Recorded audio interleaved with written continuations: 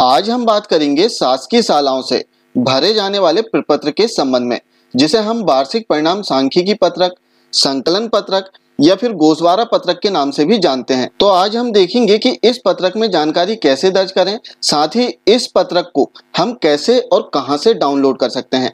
जैसे पत्रक की बात करें तो इसमें ऊपर कुछ समान सी जानकारियाँ हमें दर्ज करना होता है।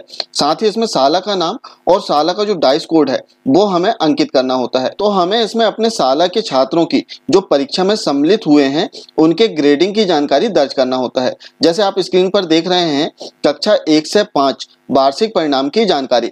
इसमें हमें प्राथमिक शाला के छात्रों की जानकारी दर्ज करना होता है, जो कक्षावार, बालक बालिका वार और इसमें कुल में कैटेगरी वाइज हमें एस सी की जानकारी दर्ज करना होता है।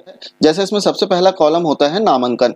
तो इसमें कक्षावार, हमें नामांकन, जो दर संख्या है कक्षावार, उसकी जानकारी यहाँ पर दर्ज करना होता है बालक बालिका वाइज। साथ ही नेक्स्ट कॉलम में मूल्यांकन में सम्मिलित। तो परीक्षा में जितने छात्र बालक बालिका सम्मिलित हुए हैं, उनकी संख्या दर्ज करना होता है और इसके पश्चात इन छात्रों में जो A grade B grade C grade D grade या फिर ई e ग्रेड में छात्र आए हुए हैं, उनकी जानकारी हमें इसमें दर्ज कर देना होता है। ठीक इसी प्रकार हमें माध्यमिक शाला का प्रपत्र भी फिल करना होता है। जैसे आप देखेंगे, माध्यमिक शाला का प्रपत्र है, इसमें तीन कक्षाएँ प्रदर्शित होती हैं, जबकि प्राथमिक शालाओं में पाँच कक्षा इसमें आपको देखने के लिए मिल जाएँगी। तो आइए देखते हैं कि इस प्रपत्र को हम कहाँ से और कैसे डाउनलोड कर सकते हैं। आइए चलते हैं मोबाइल स्क्रीन पर।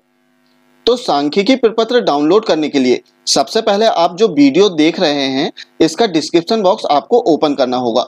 डिस्क्रिप्शन बॉक्स ओपन करने के लिए आपको इस एरो पर, आप यहाँ पर एक एरो देख रहे हैं, इस एरो पर क्लिक करना है।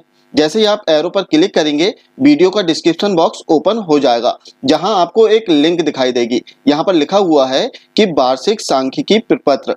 संकलन प्रपत्र डाउनलोड करने के लिए इस लिंक में क्लिक करें। तो हमें इस लिंक पर क्लिक कर देना है। लिंक पर क्लिक करते ही यहाँ ब्राउज़र में ओपन होने की अनुमति मांगी जाती है। तो आपको किसी भी ब्राउज़र को यहाँ से सेलेक्ट कर लेना है। ब्राउज़र के सिलेक्ट होते ही आप देखेंगे कि जो सांख्यिकी प्रपत्र है, वो यहाँ पर प्रदर्शित होने लगा है। अब इसे डाउनलोड करने के लिए आपको इन थ्री डॉट पर क्लिक करना है। थ्री डॉट पर क्लिक करते ही कुछ सब ऑप्शन यहाँ पर ओपन हो जाएँगे, जिसमें एक ऑप्शन आपको दिखाई देगा डाउनलोड का। तो आपको इस पर क्लिक कर देना है। जैसे ही आप डाउनलोड पर क्लिक करेंगे, आपकी जो फ़ाइल है वो डाउनलोड हो जाएगी। तो इस प्रकार आप बहुत ही आसानी से अपनी साला के लिए सांख्यिकी प्रपत्र डाउनलोड कर सकते हैं। ये थी सांख्यिकी प्रपत्र के संबंध में एक बहुत ही महत्वपूर्ण जानकारी। आशा है जानकारी आपको अच्छी लगी होगी। यदि वीडियो पसंद आए, तब इसे लाइक, कमेंट और शेयर ज़रूर करें।